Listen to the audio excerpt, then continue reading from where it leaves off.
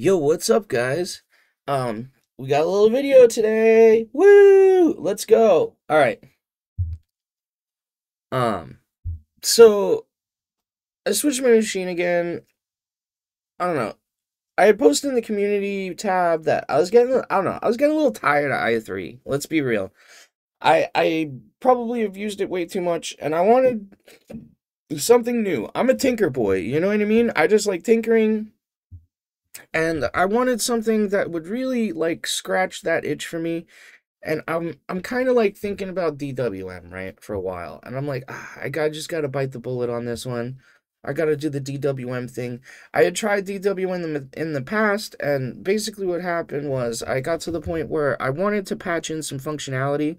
Because if you didn't know, uh, to the uninitiated, uh, the way DWM works is it's missing a lot of stuff that you would normally expect out of a tiling window manager, right?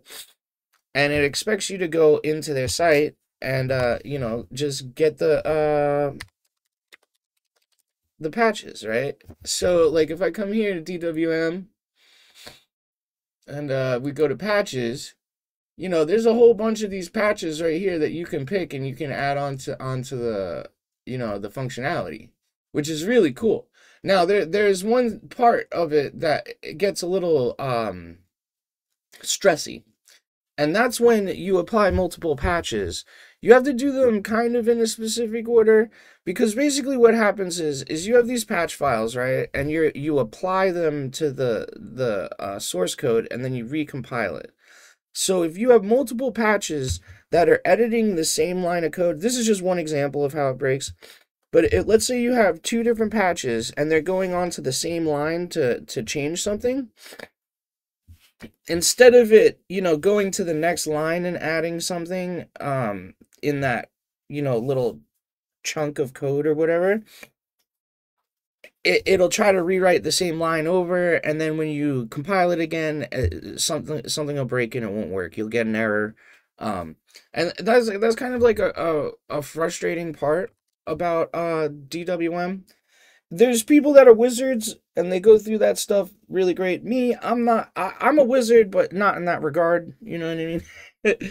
so I started looking into DWM forks, right? And there's there's a few of them out there. Uh it seems to be that uh there's like people who like get into it really hard and they just fork the crap out of it. You have instant WM, which actually uh, has its own distro instant os highly recommended by the way. That that is if, if you really want to learn about the different things you can do with things like dmenu and things like dwm that's a great one to like just you know install on a vm and just poke around in the dot files and and, and figure out exactly what's going on there. That's really cool. Uh downside it's really busy. Another one chad wm same thing. Really cool. You know you want to go through look look at all the different things that the person did to it. it it it's it's a really well done. That's great. Um me i'm looking for more of a build it on your own experience right? So that's why i'm using dusk right? We're using dusk. It's gonna it's gonna be sick. Uh basically if i can get my uh thing to work if i do a little fast fetch this is what we got going on here. Dusk, right? So, generally, how I go about editing all this, uh, and like doing your stuff, right? If you go to, uh, I'm gonna cd into Dusk, right? And we'll we'll list. So basically, you're gonna have two files, right? You're gonna have this config.def.h, and you have uh, what you call it, config.h. And the way that it's supposed to work is you're supposed to do all your changes in here and then copy it to this config.h file. And yeah. But me, I don't do that. I don't I don't mess with that, right? Uh I just literally straight up edit the config.h. So if I do uh if I'm, I'm gonna use Helix to do this, but you could use whatever text editor. You have to be escalated privileges for this, so get get yourself into root. So sudo hx config.h and then you know your little password and then hold on let me just the default theme hurts my eyes. We'll use this one. Okay. So this is the the config. It's it's huge. Uh let's let's zoom out just so you can get uh it's a it's a it's a dense config. There's a lot of information here in the comments. I suggest reading it. Like this right here, this is all keybinds. Like basically what like all of this is keybinds. And then you can add even oh wait, there's even more keybinds here too. And then this is all IC, I, IPC command stuff. So yeah, let's, let's let's get back into a little a little bigger. All right. So yeah, so let's uh go back to the top. I'll, just kind of briefly glaze over uh the different sections of this just to give you kind of an idea of where stuff is. So up here, this first little chunk right up here, this is going to be all your borders and, uh, you know, your window gaps and all that sort of stuff you know, you have your bar height. Uh, bar height determinant on the font is what I'm using. So just depending on the size of the font, the bar, bar will get bigger or smaller. It also applies that to D menu, except for I've edited D menu so the font looks a little bit bigger. Okay, uh, let's keep going. So yeah, this is like kind of like uh your environmental appearance variables or however you want to call it this is uh indicators, right? So what your indicator is is if you look here on my workspaces, if I if I switch between the different workspaces, um, there's a little uh, box that shows that there's something going on with that. Now you can change this to a bunch of different things. Um, there's triangles, there's large squares, there's small squares, there's like little lines. Uh, that's going to be in the DW uh, uh, in the dusk. Um, what you call it?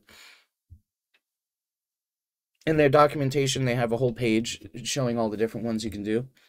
Yeah so yeah there's this. And if you come down i i don't know what this is yet. I haven't messed with this yet. I haven't messed with this yet. Okay what do we got here? Oh this section. So when i was talking about the patches with dwm they have this thing one patch called flexi patch and what FlexiPatch does is it allows you to apply a whole bunch of patches at once, and it'll automatically do it without a break-in. And that's kind of, I'm pretty sure what they have going on right here. And it's pretty cool because they give you all these different patches right here, and all you got to do is uncomment them. And yeah, you get good stuff. And there's good stuff in here. Like, I got the one where it's like, if I have these two windows open, right, or, you know, whatever, like my mouse cursor will jump between the windows when I switch between them, right? So that's cool. Um, I also got this other one. What is it?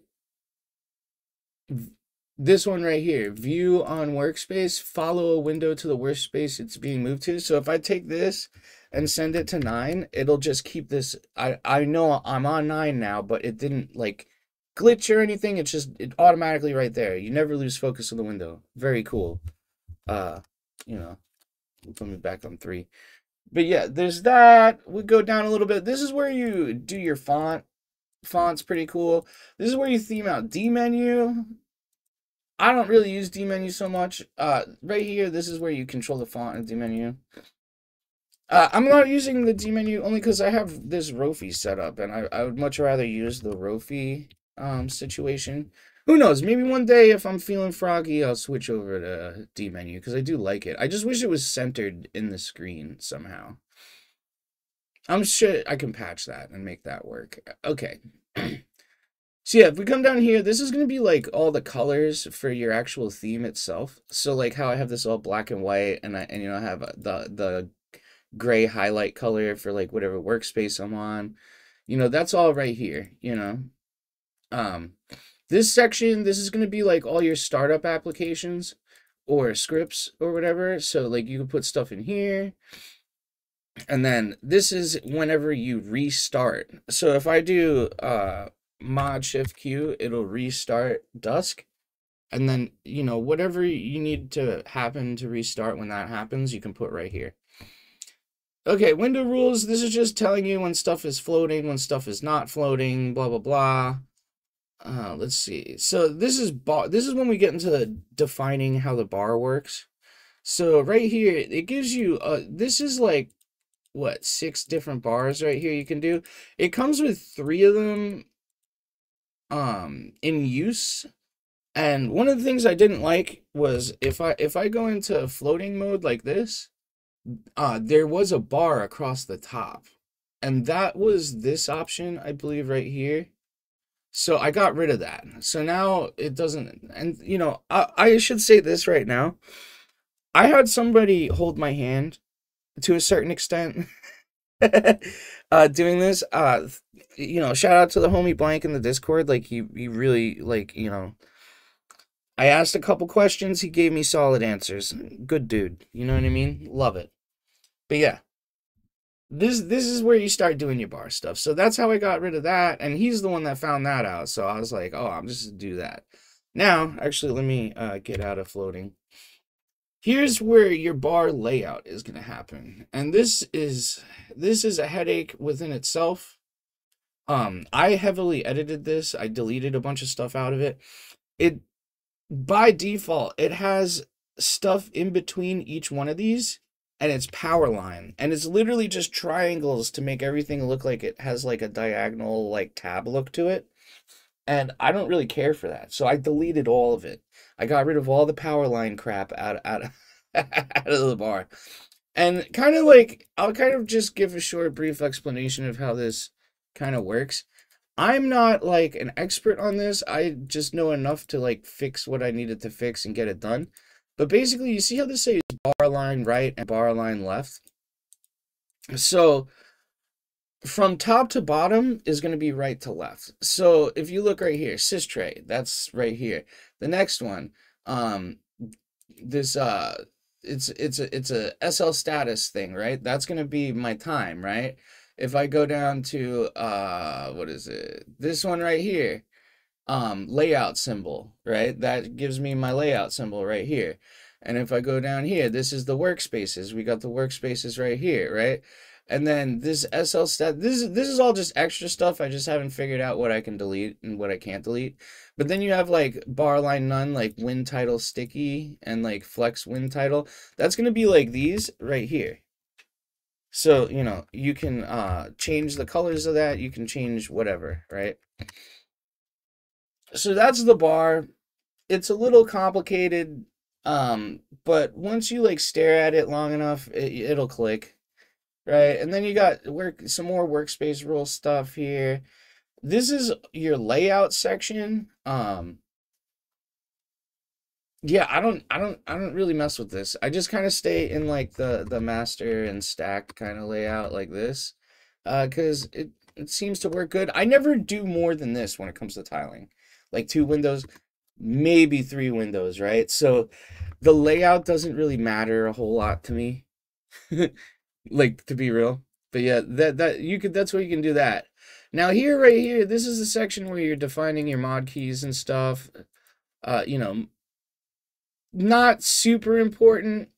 I'll be really real with you, and this is kind of a uh little suggestion I'll do. So I'm running SXHKD for for my my keystrokes, right? So the only keystrokes in this config that I actually changed was um, my terminal. You know what I mean? So all everything else, my it was like my terminal and one other little thing. Everything else, all my other keystrokes are being handled right here. And there's kind of a reason why I'm doing that. I don't want to come in here and break something because I'm not fully familiar with this file yet.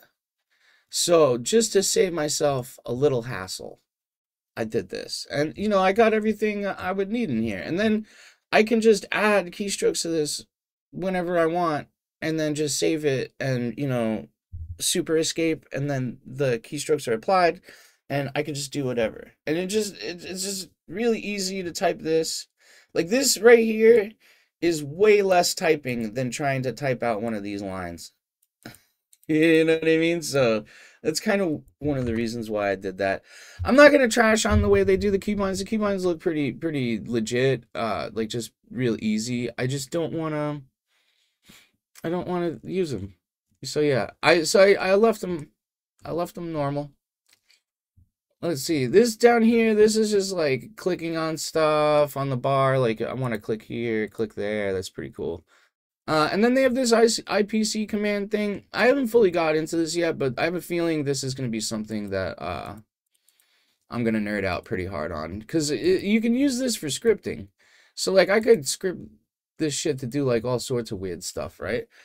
And then, yeah, so that's kind of uh, a quick, quick, very brief rundown of the configuration file. Um, and then basically once you're done editing it, editing it, you would, uh, you know, you write and quit, and then here sudo make install, right? And, or, whoop. And then it just compiles it real quick.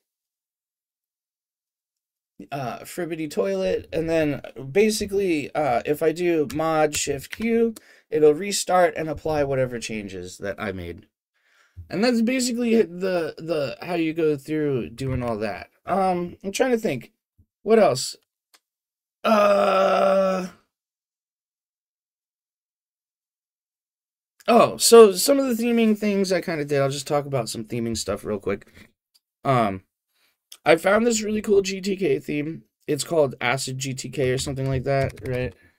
It's uh Acid GTK theme right here. And if I go like this, bada bing, look, this is Thunar, bro. Like, how good does this look? Like, that's fucking Thunar. Let's go. So beautiful. But yeah, and then uh, I, you know, I got these icons. These icons are pretty cool. Uh, what, what, what was this pack again? Um, Clarity Albus. So the Clarity icon pack is like actually sick. Uh, NWG. So if I go to, uh, what is it, icon theme, all these clarities, like if you go here, wait, you got a blue one, you got a gray one, you got a dark gray one, you got an orange one. The orange one's sick, dude. That looks so good. Um, purple, you know, you got some good stuff right here. I tried downloading some other icons. Uh, well, these are like the basic ones, but yeah, this is kind of the one I I, I really like and I, and I've stayed with. So yeah, that's what I'm I'm doing with that.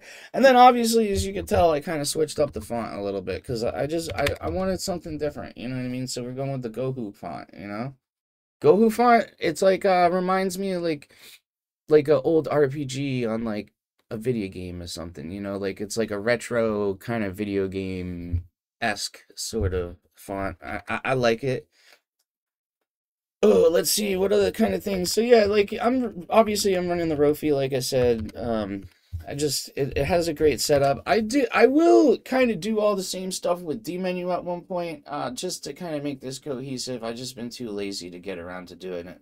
Um oh yeah so i'm gonna wrap the video up kind of here because i've i've talked and went over this kind of a lot. Um I'm, i will have way better videos about this stuff uh coming out. I'm I'm gonna reset my laptop up. So like my big laptop.